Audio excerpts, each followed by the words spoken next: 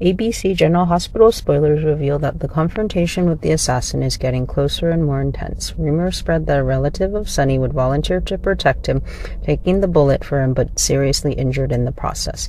Who could be the one to die by taking that bullet? This will create a tense emotional situation as the person stands up for Sonny while putting themselves in great danger. This will also create tension and anxiety in Sonny as her faces the possibility of losing his important relative to this person's protection. Who could this person be? What will happen? Meanwhile, in the tense situation of the confrontation with the assassin, there were rumors that Nina, despite causing a lot of trouble, ended up taking the bullet from the assassin to save Sonny. This action of Nina is an expression of sincerity, showing her good nature after mistakes. Nina wants to make amends with Sonny, showing remorse and wanting to be forgiven.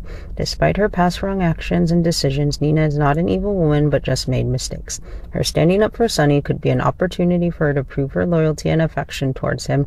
This action opens a new opportunity for the relationship between them, which could be the first step in regaining trust, and Sonny may choose to return to Nina. Will Sonny and Nina get back together after this?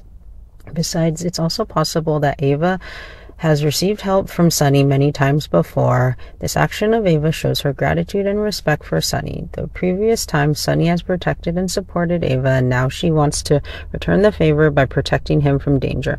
Ava is well aware that Sonny is an integral part of keeping Port Charles safe and that her protection of him is also her way for helping Sonny protect everyone.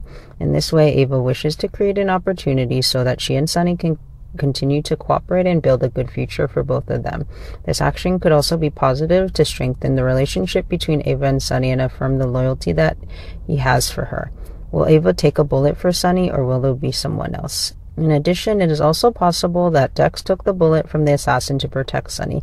Even though he had been fired by Sonny before, Dex did not give up his loyalty. He still keeps his promise to himself, ready to protect Sonny when he is in danger. A loyal and brave man, Dex spares no effort to help and protect him.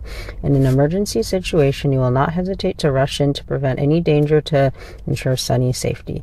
This action is a testament to Sonny's loyalty and shows spirit of a junior. This could also be an opportunity for Dex to prove his worth and assert his position. Is it really Dex? How will things turn out?